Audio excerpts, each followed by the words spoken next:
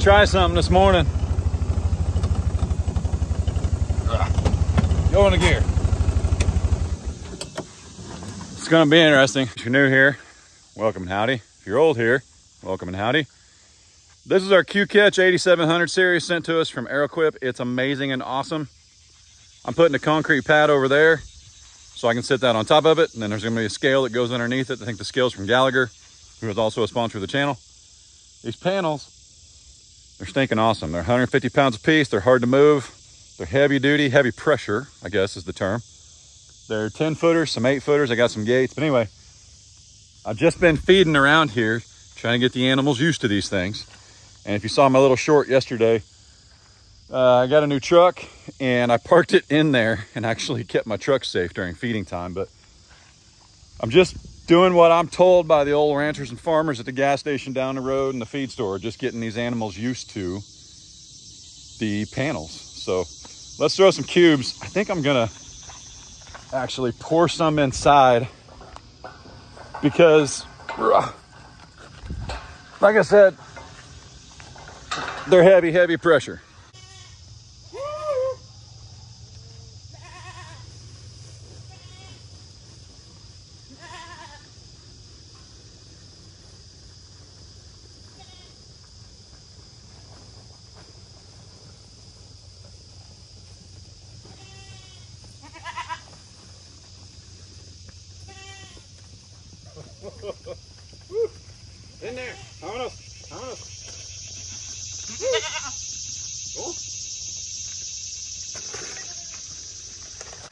Check it out.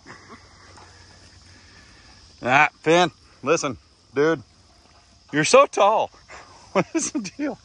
Hey, you got to come in here.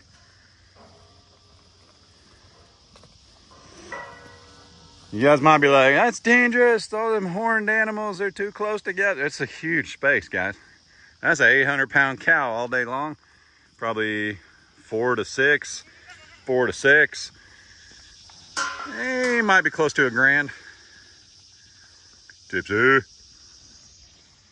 But I'm getting ready to, I'm gonna do it off camera, but I'm gonna kick that panel out so they do have a an exit. They're not like trapped over here. All right, so we gave them a big wide berth now. That's probably every bit of 24 feet because that's 10 foot and that's 10 foot. And if I swung them together, they wouldn't even touch. So it's over 20 feet. Tipsy is my most careful cow.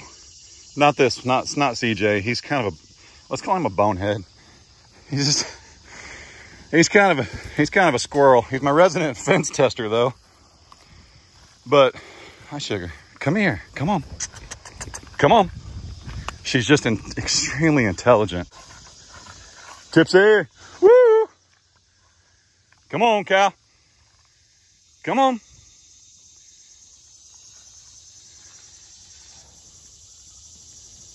Here, let's see if I can move her with the uh, side by side.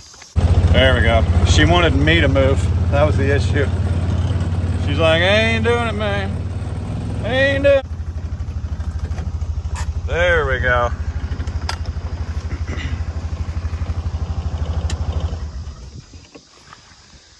All right. So in case you're new, here's a little play-by-play. -play. That's Frank the Tank. His daddy was supposed to be Fred. This is Junebug. That's his mom. But Junebug went and visited the neighbor's Angus bull. So Franklin here, we call him Frank the Tank because obvious reasons. He's a Highland Angus. This is Oreo. She's a she's a goat dog. That's Patrick. Oh, Franklin was born May 12th. Patrick was born March 17th. He's a longhorn bull as well. Bull calf right now. You've met Tipsy. This is Finn. So Finn is actually probably going to be on the farm for a long time because he's beautiful and he's sweet. A really good demeanor.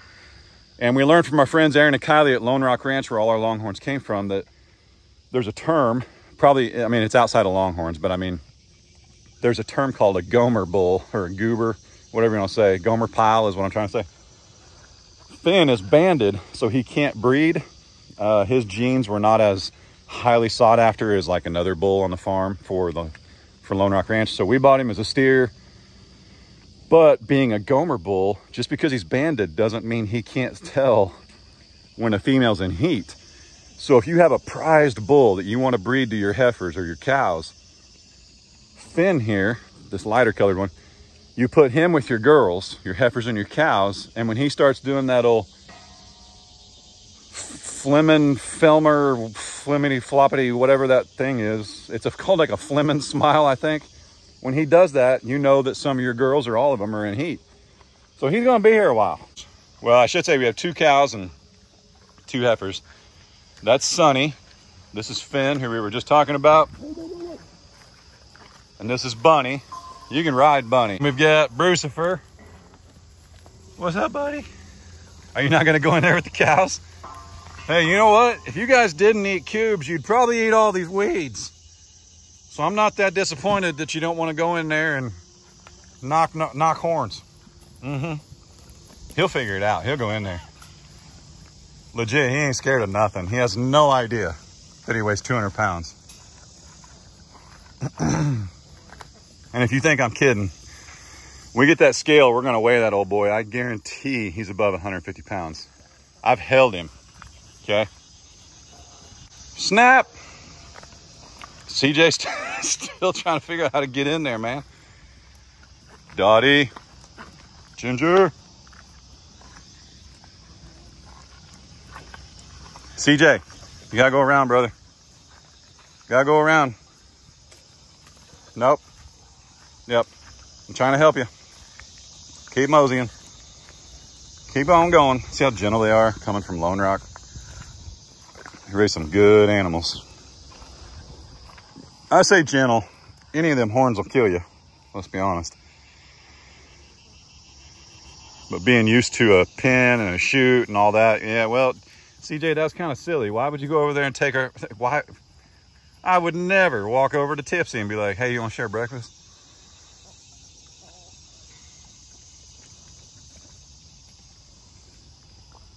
Man, look at that view.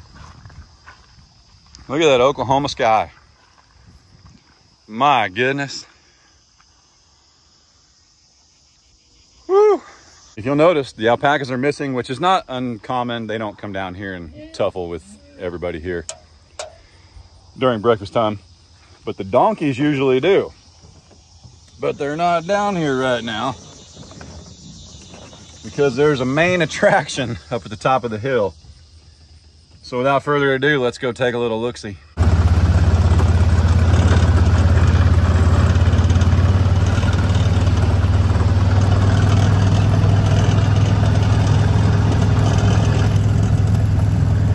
comes one of them. Little donk, my brother.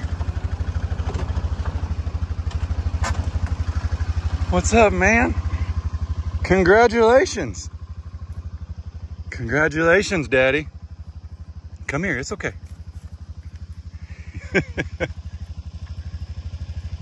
so here's the deal.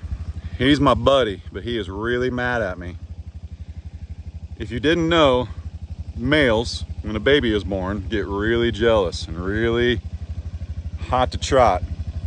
And let's just call it, because I, I, I, said the word yesterday at my brother and sister-in-law's, but donklet. There's a new donklet on the farm, a baby donkey. That's what that's what they're called. They're, some people call them foals. Here they're called donklets. And long story short, when the donklet hit the ground, he got real sideways and was not being very nice. So I threw some towels at him. I'm talking like a beach towel because it was white and flowy and it scared him because, you know, it waves in the wind. So I threw one of those at him to shoo him away and just had to do what I had to do. And then we had to pin his girlfriend, Miss Lucy, and the new donklet up to keep them safe from him. And the reason I didn't pin him up is he is our resident Coyote Crusher. Now that dude was $200 on Craigslist. Best $200 I ever spent. Anyway, he's my resident guardian. And we're normally buddies, but I had to lock his girlfriend up. He's not real happy with me. Cowboy. Get that ragweed. Get it. That a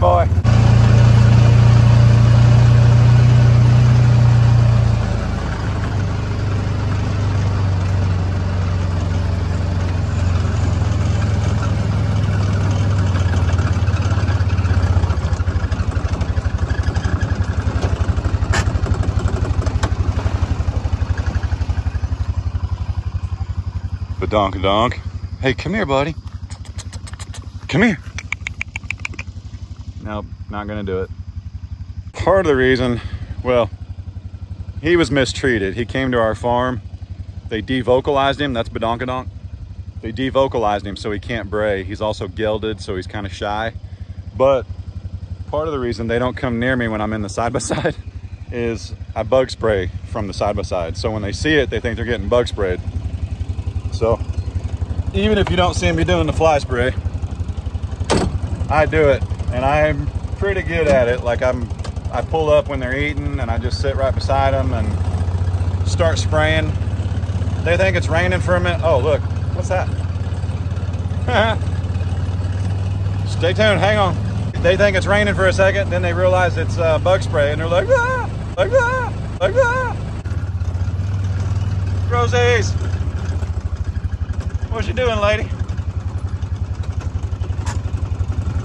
All right, I'm getting to the good part. Hang on. This is Miss Rosie. She belongs to Mama, the white one. Mama's pregnant from an alpaca we had named Alan. And there's Miss Tina. Hello, young lady. Miss Tina is pregnant, and I would say she's, oh man, I'm gonna go a month out we'll see. About a month. You okay? Your underbite's looking good. Mm-hmm. Boy, use a looker. It's a face only a mama could love. Listen, Alan, I mean, don't don't tell Tina, but Alan, our male, was really good looking. Hoping the hoping the baby takes after daddy. I said what I said.